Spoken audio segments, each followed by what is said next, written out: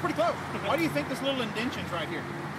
I have no idea. No idea. You know, it's funny because I've talked to a lot of people, and a lot of people go, well, you know, the air comes down and it hits the middle of that spoiler and it just makes it go right in the center of it. And that's really not the case. And I didn't know this. I've been with Roush for almost five years, and I didn't know this until recently. The reason this indention is here is it started with the last series of car, and Jack got in the car, looks in the rearview mirror, and you know, Jack's not a real tall guy, great in uh, stature, just not real tall. And he couldn't see over the spoiler, so they put an indention there so he could see when he backs up. And it, it's pretty funny to me, and customers really like that little tidbit of of information. Isn't that funny? Yeah. Coming around side, you see that Ford did us a great favor. They moved that antenna for the 2010, cuts out wind noise, things like that. Um, got side splitters that come down the side. They keep the, the car, it's got a real low, aggressive looking stance to it because of that. It doesn't look like it's sitting up real tall on tires and wheels. Before we go under the hood, I want to show you something that's really, really cool in my opinion.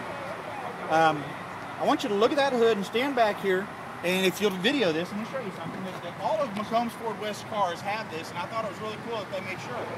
You look at the hood, it's got one common line right here in the middle, right? Okay.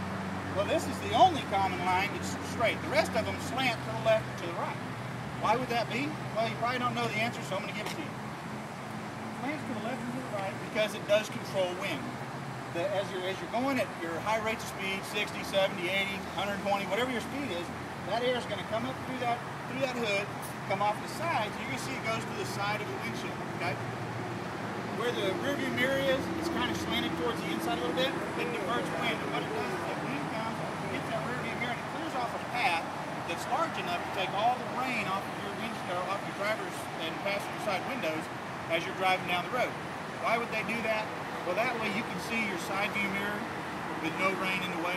So it's just a big safety feature. And the cool thing about it is every car that McCombs Ford West has has that feature to it. Wow. Pretty cool deal. I don't hear very many people talk about it. Yeah, I don't, I've never heard that. Under the hood of a Roush 427, this is what is the, the, the, the, the heartbeat of a Roush, and that is this 1.8 liter supercharger. This thing is pushing how much horsepower would you guess? Upper 400s. Well, it's 435 horsepower. That's our advertised horsepower. It's a, it's um, it's an aggressive number too. And the cool thing about 435 horsepower is the way it's delivered. Is it's delivered constantly. Right. It's not like you. It's not like a turbo. It's not like you step on the gas and then it winds up and then all of a sudden, boom, it takes off like a rocket. Well, that's Right. very unsafe.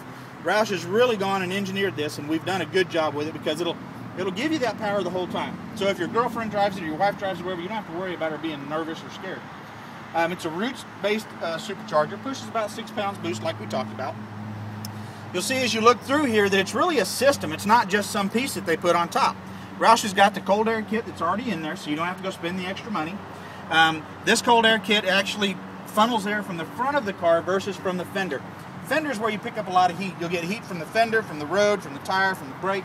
And what you're doing is you're pushing hot air into a supercharged car. You're not really doing a good job for it. With cold air, you're actually going to pick up horsepower because the colder the air, the more dense the air, the more explosive the air, giving you more horsepower.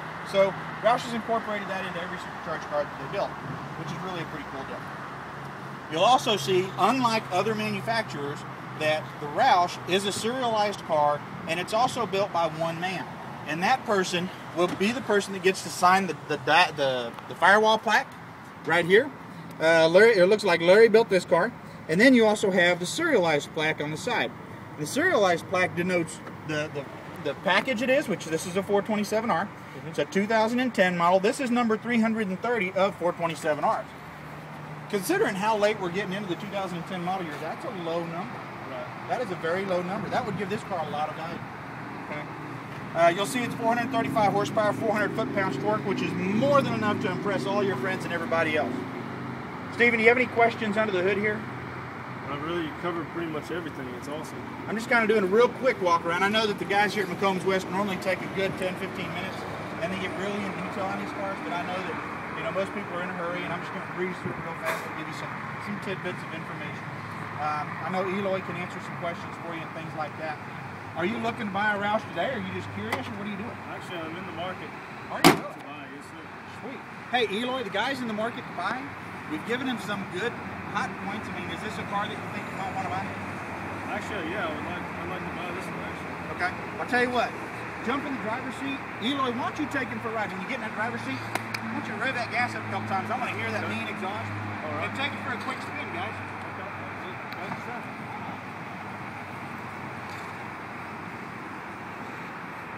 This car sounds awesome. Just awesome.